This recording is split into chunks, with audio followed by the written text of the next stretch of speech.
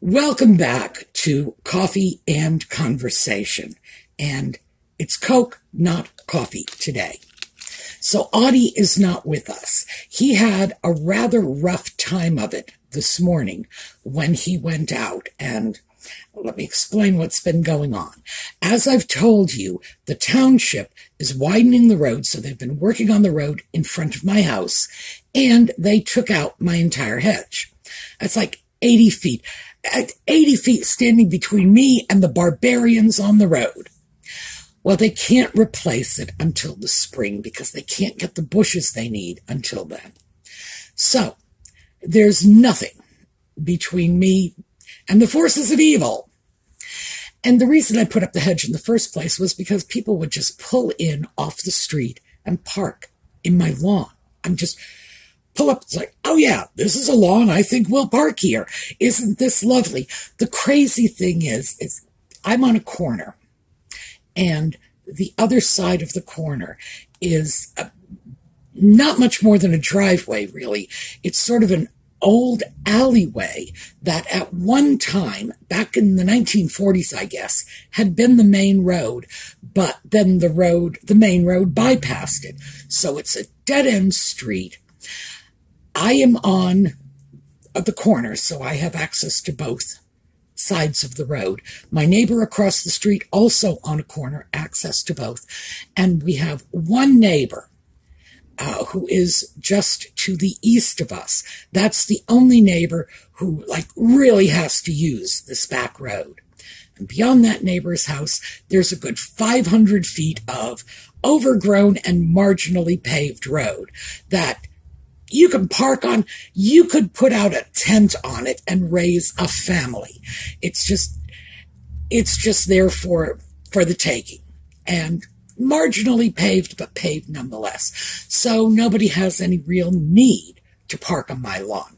Just go one house past me and you'll have all the free parking you want. I don't understand it. I really don't.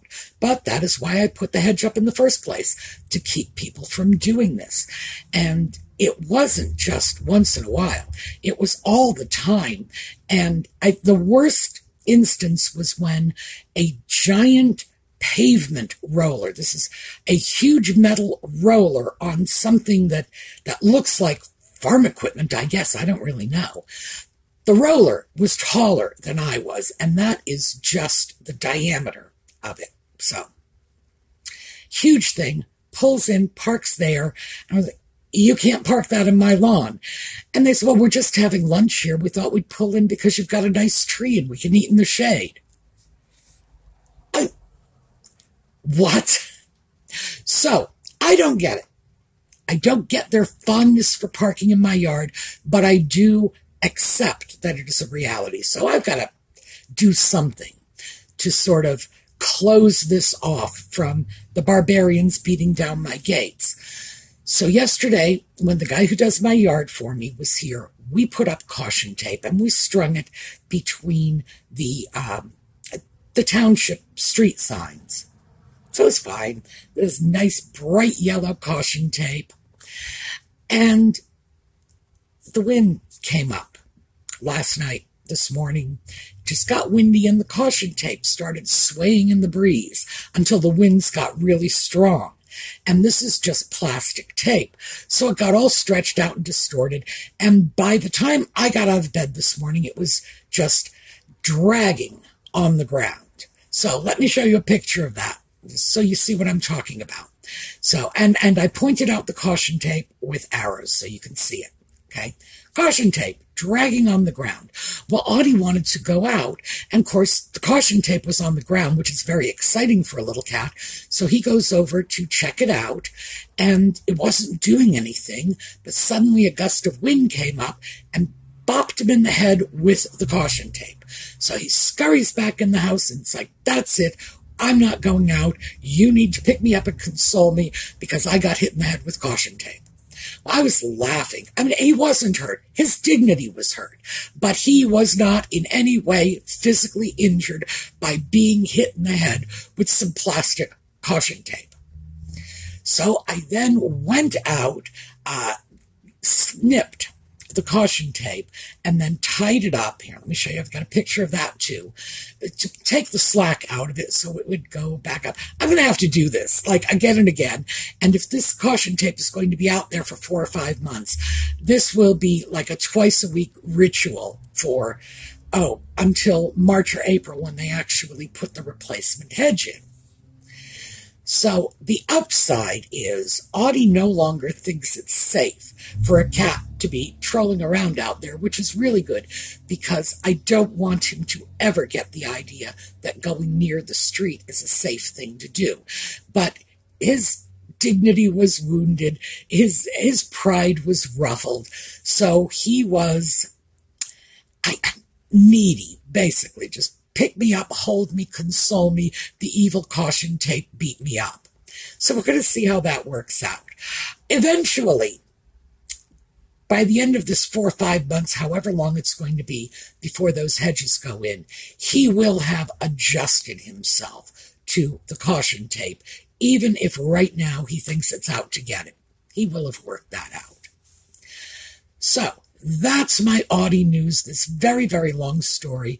Um, and my caution tape and my missing hedge. So yeah, a lot of things are going sort of screwy in my life right now. But fortunately, none of it is really bad. It's just different. So when we come back, I thought we would talk a little bit about what a bad influence celebrities are having on us. So I'll see you in a minute.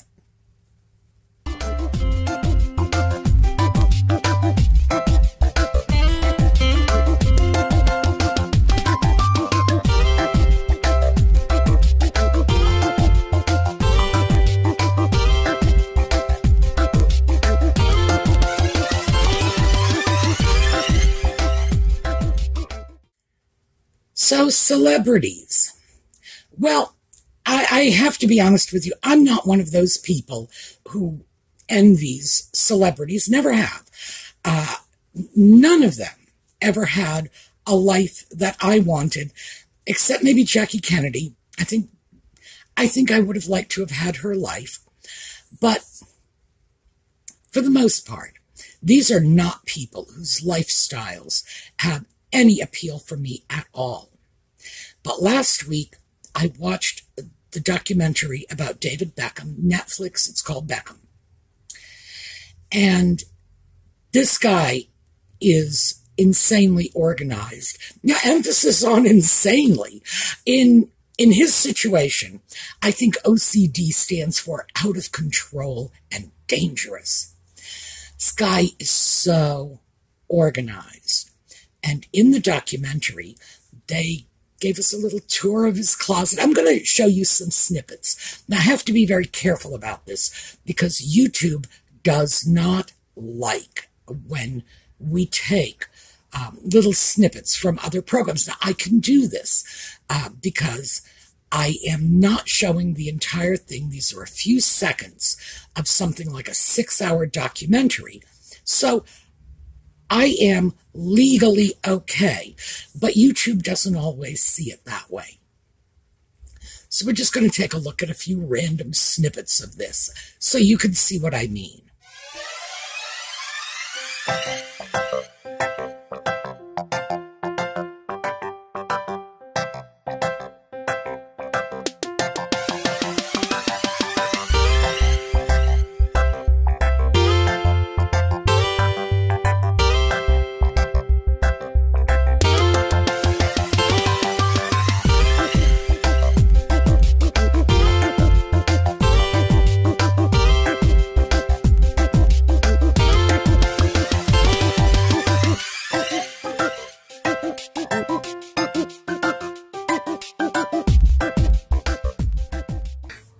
Guy's socks are color coordinated in the drawer.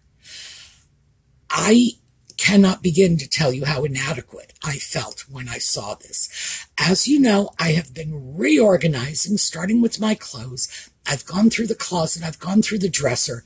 Um, which is mostly on my bed right now because after I saw that documentary, I realized I'm doing it all wrong. I do not have my socks color coded in the drawer. What is wrong with me? Because my own OCD just turned green with envy. It's like, oh, I gotta step up my game. This is crazy. I can't be living like this when he is so organized and so coordinated and. Mm. So I guess walking away from that, mm, which I probably can for a few minutes, not much more, I started to think more globally about it. What happens to us when we see celebrities, whether it's movie stars or just YouTubers that, that we are watching, um, the people that we don't personally know who come into our lives through our social media, through the television, through the movies, whatever. I don't want to be one of those people. That's one of the reasons that for us it's coffee and conversation. We are just chatting.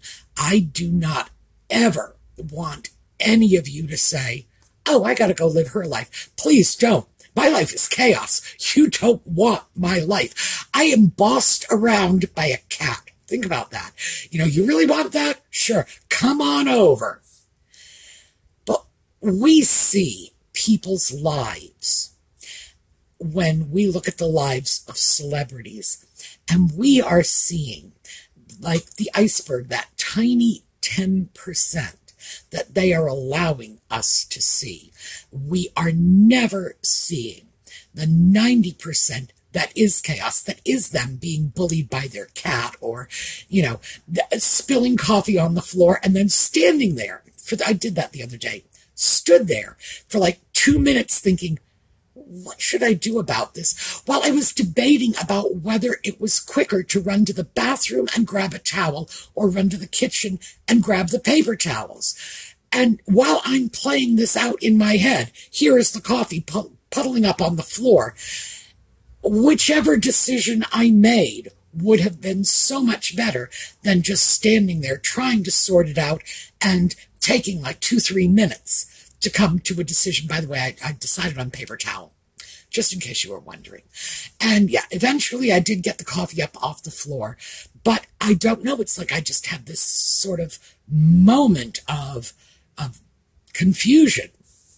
It's like coffee is on my floor. What do I do now? Uh, that is the kind of question you legitimately expect a five year old to ask. A five year old might not understand what you do about a coffee spill. It's been a very, very long time since I was five. I certainly know what to do about a coffee spill that just flew out of my head for a while. So those are the things you don't see. You will not see that because why, why would I film that for you? I'd be too embarrassed to film that for you. But that's what I was looking at in terms of where are our standards coming from? What are we holding up as legitimate role models in our lives? Because we all have them to some extent or another. Um, in many ways, uh, my grandmothers were role models to me. And interestingly enough, with my grandmothers, I really did see their spill coffee on the floor moments. But we tend to isolate that over time. We forget the coffee on the floor moment and just remember my grandmother raised 15 children and she cooked dinner and she sewed their clothing and she kept the house and it's like why am i so lost and confused you know and i'm glamorizing it I know this. I know that my grandmother's life was not really the way I remember it. I do know that my grandmother lost her temper and she yelled, and I, I remember this. But for some reason, when I think back, when I start looking at my own inadequacies, it's like, why is my house such a mess? My grandmother did better than this, and she was raising 15 kids at the same time. I'm forgetting everything except, you know, that one mental picture of my grandmother's house looking clean and tidy. And we do this to ourselves. We end up sort of setting ourselves up with all kinds of standards that we're never going to achieve. And it might be, you know, the tour of Gwyneth Paltrow's home. By the way, I've never seen that. I don't know what it looks like. For all I know, it could look like, you know, somebody's dank basement. I don't know.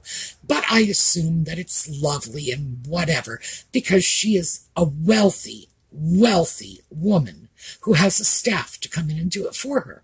But then we start to feel inadequate when we see something like this. And I'm like I say, I'm feeling very inadequate when I start to look at David Beckham's closet. And my first thing I did was just start dumping out my own stuff, saying, I got to do this all over again. Um, someone, this is just a slight aside, one of our viewers had made a reference to um, Jane Austen's Pride and Prejudice. Jane Austen did not write this scene, by the way. This was in the um, the was 1995 96 multi-part series. I think the BBC did it. Jennifer Ehle uh, starred in it. So yeah, a great, by the way. But there was a scene when Maria Lucas goes in to repack because Lady Catherine de Bourgh has told her she did it all wrong. So she's repacking her trunks. And Lizzie looks at her and says, Maria, these are your gowns, your trunks. You can pack them any way you please. Lady Catherine will never know. And I, I, I was reminded of that when a viewer wrote it in in one of the comments. And I thought, you know, is this what's happening? Are we being surrounded by Lady Catherine de Bourghs? Are we being surrounded by people whose lives are even crazier than ours are? But because we see that little slice, in the case of Lady Catherine, it was the slice that she served up to you. Look how great I am. We see that one little slice. We don't see the rest. So these standards we have are so absurdly unrealistic. No one is living this life. Well, David Beckham is, right? I, do believe that, that this is really how he lives. Mm. And I, I'm going to have to start putting out my clothes a week ahead of time. Just, what can I say? I just, I, I will feel like a complete and total failure if I don't. So are we setting ourselves up to fail because we do not have realistic standards? And I think we might be. And by the way, this is not new. This is not new. Keep in mind, in the Middle Ages, the romance tales, and if you've ever read them, some of them are just absurd you know, heroes doing things that mortal men cannot do. Ladies, uh, the patient Griselda come, comes to mind, enduring uh, horrific abuse that no woman in her right mind would ever tolerate. They came up with utterly unrealistic standards and threw them out for us, for women. These were not tales that were primarily aimed at men. They were primarily aimed at women. And in fact, the tales were uh, did have a secondary application with men, and they tended to keep the crazy behavior of men who were raised to be soldiers in line. So, yes, so that, that part of it is very, very complex, and I don't want to leave that off the table. But for the most part, these tales were told by the traveling bards and troubadours to the women who were left behind in the castles, in the taverns, in wherever they went, while the men were off at war. So, yeah, crazy standards. And it's so it's not a new thing. It's always been out there. Uh, it's not the celebrities of today. Remember, we just spoke about Jane Austen. Well, Jane Austen's characters would have been held up as behavioral standards for the young women of the early 19th century, and I say that with caution because most respectable mothers would have been somewhat chagrined if their daughters behaved like Jane Austen heroines, who were often a little too outspoken for their own good. But that was the model of, of behavior. And in every one of her novels, you can come up with at least one character who embodies the model of feminine graces. That was who you would hold up as your example. And now I'm looking at this saying, rather than evolving past that, in the early 1800s, a young woman would have probably had access to a few dozen novels. That's about it, because book ownership was for the upper classes. The middle classes would get access to books through circulating libraries, but even that, they were not free. There was a cost. You had to subscribe to the library. The books would be purchased, and they would, in effect, belong to all of the members of the library, and it would go to them, it would go to you, it would go to somebody else when you were done with it. That's how it worked. Um, we're not used to that today. That young woman would have had a few dozen novels that she would have access to. Look what we have. We have thousands, literally thousands, probably tens of thousands of role models out there. And you look at a TikTok video and, you know, these beautiful young women with all these filters making themselves more beautiful, you know, and six inches of pancake makeup making themselves more beautiful, and so on. And by the way, there are TikTok videos exposing this. And that's what we're supposed to look like. Okay, well, they don't even look like that. We go over to YouTube and we see things like uh, the home decorating videos or uh, my favorites, which are these fashionistas. And we look at this and say, well, this is what we're supposed to look like. This is what our houses are supposed to look like. Um, if you go over to the child rearing videos, a whole subset on YouTube. And you say, well, this is what our children are supposed to behave like. Well, even those people do not have children who behave like this.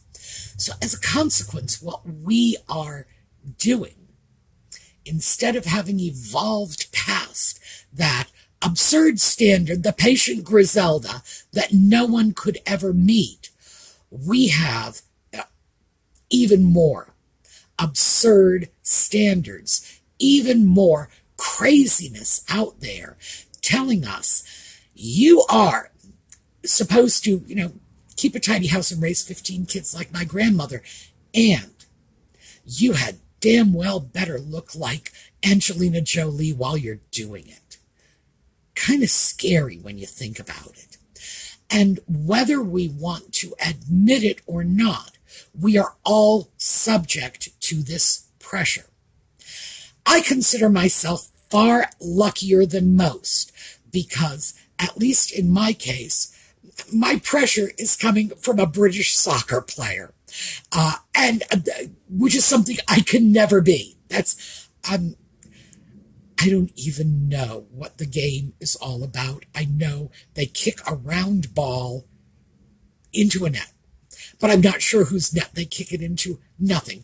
My knowledge of soccer is sort of right up there with my knowledge of fourth century Chinese literature, which is to say, zip. So that's good for me because no matter how much I may feel emotionally that I must have David Beckham's super organized drawers and closets, oh, and I do at least intellectually, I realize I cannot have David Beckham's life. I cannot become David Beckham. No matter how organized my drawers are, I am never going to be a professional soccer player. So that's when we can look at it and separate it.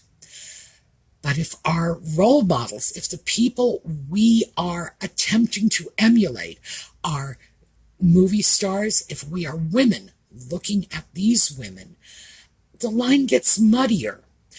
We we don't have that clear cut distinction. It's like if I wear that that jacket she's wearing, I can be like her.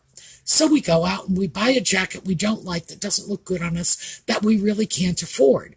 And this is where the real problems with these behaviors are when we are encouraged to do things to try to emulate that celebrity, things that are not in our best interests. We do not need whatever Angelina Jolie is wearing. And even if we have it, we're not going to be her. That's, uh, that's not going to happen for us. And like I say, David Beckham is wonderful because he is such a glaring example of what my life can never be. It's not so clear cut if it's Gwyneth Paltrow, if it's Angelina Jolie, if it's a Kardashian. Not so clear cut. The lines are muddier. Now, these celebrities and the companies that they are brand ambassadors for. I, I really hate that term, brand salespeople for, hucksters. We've got a lot of terms for it. And I think brand ambassador cleans it up a little more than it, it really deserves. These people are not brand ambassadors. They are selling us something. Just like the clerk at our local dress shop, just like the guy at the used car lot who has no problem passing that lemon off to you. Remember that. It, this is not, this is not the clean, dainty sort of transaction that brand ambassador makes it sound like. Now, it is just commerce, period no matter what we buy that they are hawking to us, no matter what, we're not going to become them. But why do we buy it? Because a part of us believes that we will become at least a little like them. Somewhat. You wear Angelina Jolie's pretty blazer. Well, you and Angelina Jolie have something in common you know? And maybe next time out it'll be Brad Pitt. Oh, yes, I know. There, there is no more Brad Pitt in Angelina's life. I get no idea whose life he is in now. But yeah, if she's selling something, we're probably going to buy that too, just in the hopes that eventually Brad Pitt will come along with the deal, which is nuts. And if we think about it, we all know better than this. We know we are not going to be them no matter how much of their weird crap we buy, no matter how much of the potentially dangerous face cream they're trying to sell us, no matter how much of that we slather all over our face. We're not going to be them. It's not going to happen. So that was something that, that just sort of landed on me with a vengeance. Uh, and it's not through landing yet. Like I say, my drawers are still dumped out over the bed because I am still feeling that burning urge to rearrange my socks according to color. But to be fair, I already have them rearranged according to type of sock, just not color. So I got to work on that. And of course, I do have a dress rack that I am pulling out so that I can start laying out a full week's worth of clothes in advance. I'll lay it out there uh, because I only do this like the night before. And clearly, I'm not doing it right. You know, clearly, uh, my desire to be the goddess of OCD is in jeopardy. I, I, I'm not going to make it. David Beckham is the goddess of OCD. And I, I'm not even a sloppy second. So I got to work on this. Otherwise, I don't know what's going to happen otherwise. It's interesting. We should be asking ourselves that. What happens if I don't color code those socks? Now, in my case, it's going to bother me until I do it because I have seen a much better organization system than I have right now. But not everything in life is going to impact me like that. What's the worst thing that can happen to me if I don't have the same blazer Angelina Jolie has? Well, the easy answer to that is absolutely nothing, except I will have a higher bank balance at the end of the day. So I think we should look at that. Who is it that's having an impact on our lives? Are we getting too involved with them? It's a very one sided relationship. Um, and I know that relationship from the other side because I have it with you. You see large pieces of my life, and I get only the smallest snatches of yours. I get it from your comments, and a lot of you are really good about sharing. There are those of you who have shared the names of your pets, and and you'll come back week after week and tell me what your pets are doing.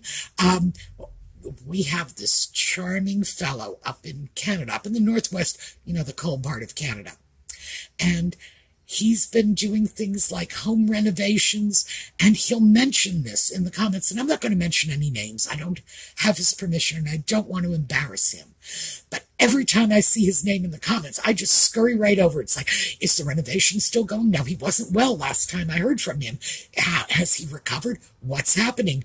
And now it's getting to the time of year where I'm starting to wonder, you know, where is he going to spend the holidays? So, from that side, I would say, don't be afraid to share in the comments because I personally look for it.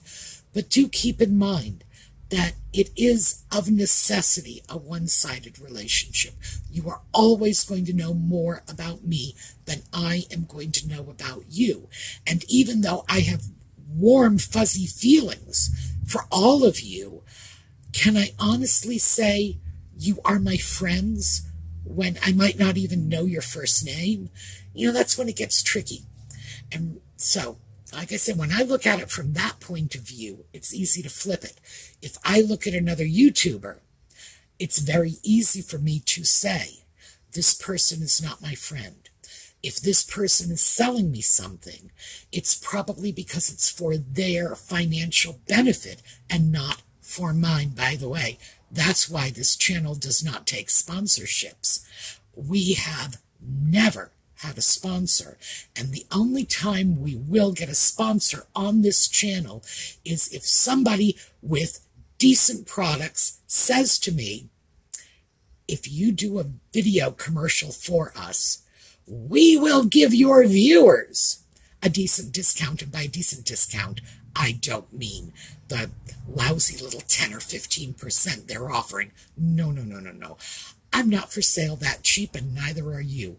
But yeah, we don't do sponsorships here because I'm not out to sell you something that will benefit me. That I consider that an abuse of trust, and I just won't go there. But you got to remember that when you are dealing with people that you don't know, that should be your first question what are they getting out of this? If I buy Angelina Jolie's jacket, what does she get out of it? And you're going to find that she definitely gets something. And then you have to ask yourself, would she be selling that jacket to me if she didn't get something out of the deal? And I think those questions will help us when we start differentiating between, you know, legitimate influence, which is you see someone, you say, gee, she and I have the same coloring, she and I have the same body type, whatever. I wonder if that would look good on me. That's influence. Or buy this from this brand, buy this from that brand, take a look at my list in the video notes, links to everything I bought. That's sales. We need to be able to tease those apart. Having said all of that, I have to let David Beckham off the hook.